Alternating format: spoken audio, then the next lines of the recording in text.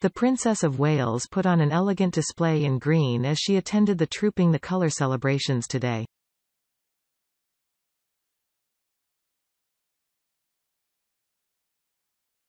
Kate Middleton, 41, was snapped waving at bystanders as she made her way to the event.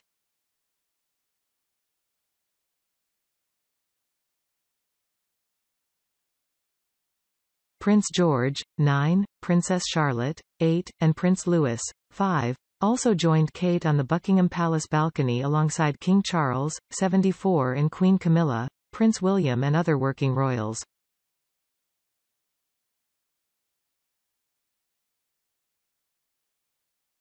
It is the first trooping the colour the royal family marks without the late Queen Elizabeth II following her death last September.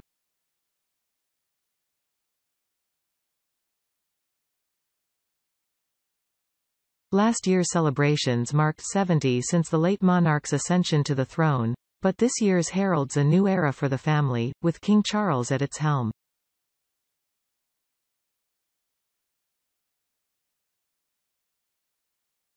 The princess opted for a bold single-color look, donning green from head to toe, representing her role as Colonel of the Irish Guards, a role she took over from her husband at the end of last year.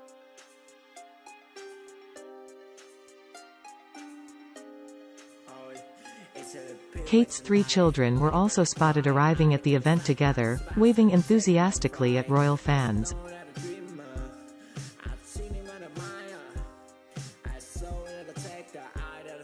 Around 70 aircraft from the Royal Navy, British Army and Royal Air Force will take part in a flypast for Trooping the Colour on Saturday, marking the first birthday flypast for Charles.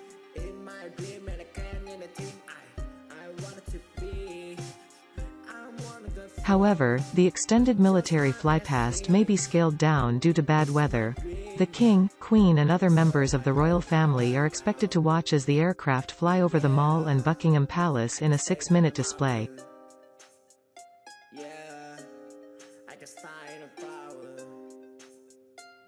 The Ministry of Defence, MOD, said the aircraft will take off from 15 locations up and down the UK before meeting in the southeast of England and flying across London.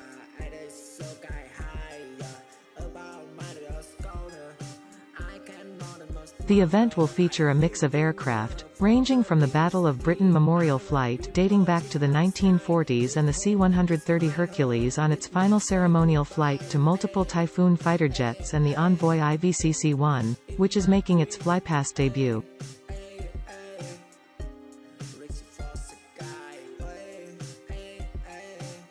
At the front of the flypast will be a Juno HT-1 piloted by Flight Lieutenant Tom Knapp from 60 Squadron, No. 1 Flying Training School based at RAF Shawbury.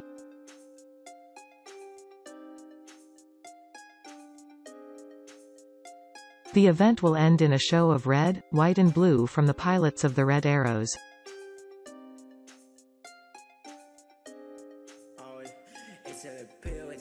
The mod said many of the aircraft taking part in the flypast have been involved in operations around the world this year, including the NATO air policing mission in Eastern Europe and the evacuation of British citizens from Sudan.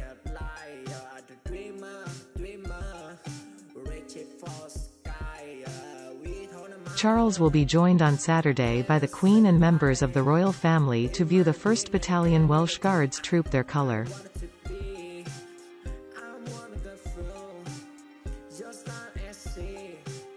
The annual event of Trooping the Colour has marked the official birthday of the sovereign for more than 260 years.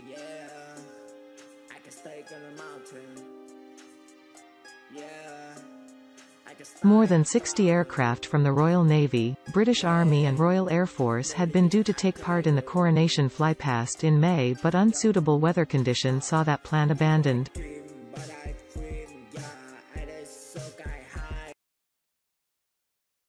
Instead, helicopters from the three services and the Red Arrows took part in the display, which lasted for around two and a half minutes.